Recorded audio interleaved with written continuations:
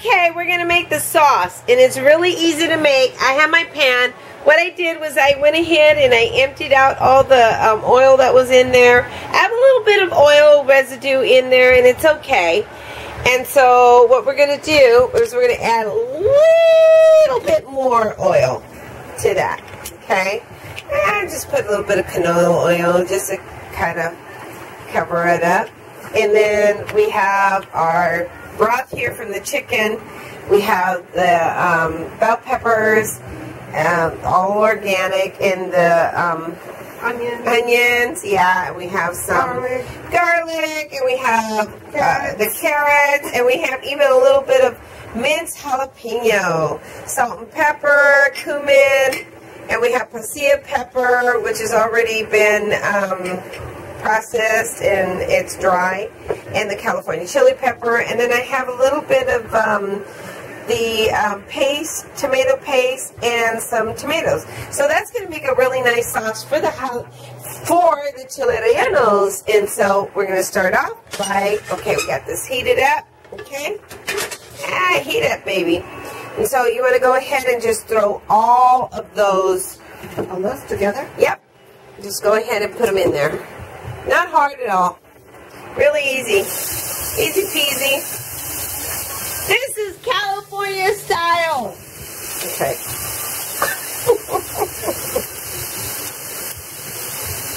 All right. So I'm going to take this little spatula and I'm going to let you do it since I am teaching you how to make chile rellenos. When you go back home, you can make them and invite all your friends, and they're gonna they're gonna freaking love you. They're gonna love you. My boyfriend's gonna love me. Yeah, you're definitely what? Your boyfriend? yeah. so we've been wanting to do this cooking stuff, so I think this will be good. And you just kind of let it, yeah. I like to sear things, but you You know what? a little bit. I'm gonna add a little salt, a big pinch of salt and pepper in there, because that's gonna make the um, it's gonna make the um, onions have wilted a little bit more. It's gonna. You remember in culinary class? In culinary class, they taught us we could put salt. What does salt do? Salt extracts the liquid. Yeah, makes the liquid come out of the Onion. onion. Mm-hmm. It flavors it. There's five things what a salt does. You You know, remember all the five things? No, they just told me to quit staring all the time. Okay, wait a minute. The salt it extracts the fluid. It flavors. It binds the flavors. It it does five things. We we we don't. We don't remember. But our food is great. But yeah, We it don't- is don't It's. We don't need it. It does whatever. But can you imagine that salt, what it does to your body? So be very careful. Drink a lot of water. Or margaritas. Margaritas? Mimosas? We're having mimosas. Actually, I'm having straight champagne. Can I stir now? Yeah, go ahead. Isn't that beautiful? So, just smells so good. Someone said I smell like celery. No. Yeah, I don't have celery in that, but you can put celery in there if you like. It's okay to put the celery in there. We'll. This is a really nice Mediterranean flavor. I know. I know. And so, okay. So our, our beans are done. They have to be done by now. You know what? Look at that. Beautiful. Oh, you can eat them whole or you can refry them. I think we should eat them whole. I think they're, those are beautiful. Look at that. I had it raw. They were really good raw. Oh, well, I think raw would be good. So uh, we took all the toxins out of those beans. Uh, oh, there goes the bay leaf out of there. So we took all the toxins out of the beans because why? We why? Because we soaked those rascals. Here we go. Okay, so we're cooking this up right here. We're just sauteing it and making sure that it's all yum yum, delicious. Yeah, yum man, I yum man. And then you know what? Go ahead and put some uh, a, a big pinch of cumino in there. We're gonna do it Indian style. This is what um, this is the technique that Indians use. They, the cumino. You don't like the cumino? Too bad. It's delicious. and then go ahead and put like that's a good tablespoon. How much is that? Probably about um, a good heaping tablespoon and a couple of teaspoons. All of it in? Mm-hmm. Go ahead, put it in. Really? Mm-hmm. Oh man. All of it? All of it. Holy cow. Let's go ahead and start saute that. It's going to be really beautiful. Oh, nice. You smell that? Mmm. And go ahead and put your tomato paste. It's about a good couple ounces of tomato paste and about four ounces of cubed tomato. And then we pour in, go ahead and pour in that, um, oh, that's pretty. Yeah, make sure that's all in there. Yum, yum, yum. That's beautiful. Now, why would they keep tell you to stop stirring? Oh my god. Because I stir too much. Ah, I think that's wonderful to stir. All of it in? Yeah, and that's about a good, what, four cups of broth? Look at that. Look how beautiful that is. I love it. Yeah, you can use a whisk if you want.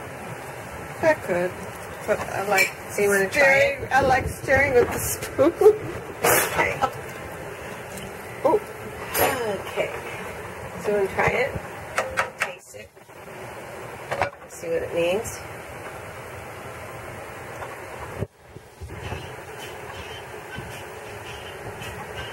It's not cooked yet, so you you want to get the basis of the salt and pepper. uh, the flavors are there. Just a little salt, huh? And then, I mean, that's the sauce. And basically, you want to get, uh, you want to heat it up faster. Okay, it's coming. Okay. I just want to bite some of those. Uh, she can't wait to get the jalap. She can't wait to get the rellenos in there. so we're gonna bring this to a boil. No. No, honey, you're gonna ruin it. We gotta make tortillas. Remember? She wants to make tortillas, so we're gonna make tortillas. So you clean up while you are cooking. Yay! And then plus, she wants to make Spanish rice, so we're gonna make some Spanish rice. And I basically use the same ingredients as Spanish rice as I do anything else. Spanish cooking, Mexican cooking, whatever. No worries. Huh? Tortillas? What? Right now? Oh yeah, we can make them right now after our shot. okay, so this is coming to a nice little boil. You want to try the beans? Oh, those beans. Look at those beautiful beans. Let's get the... You know who taught me how to do this? Oh. Chris. Chris Navarrete. He's the one that was telling me that I need to put bay leaves in the... I needed to put bay leaves. And his mother's... His mother is German. Go figure. He's a tall blonde guy. Yeah. Be nice. Right.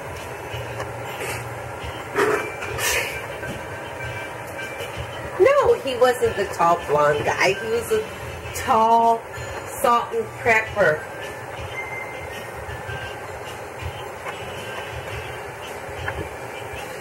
Beautiful beans. I can't wait to try them. Yeah, he was a tall um, salt and pepper guy. And he was nice with his, you know. Mmm. Oh my god. Mmm. I will kick your butt.